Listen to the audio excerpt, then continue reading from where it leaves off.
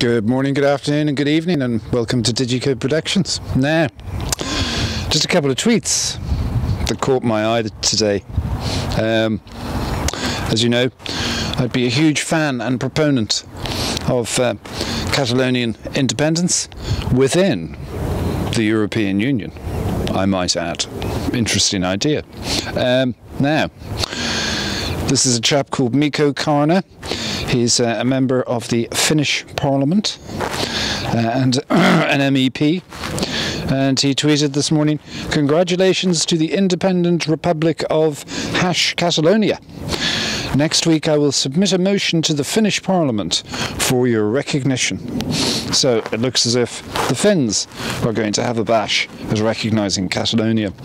Also, in the same flavour, um, this is uh, Catalonia Direct. Um, an Argentinian MP is putting in a proposal to recognise the Catalan Republic um, next week to the Argentinian Parliament. Um, quite nice. I know that our own Dublin City Council is hanging the Catalonian flag from our headquarters in Dublin for the next month. So um, we wish them all the best. Thank you very much.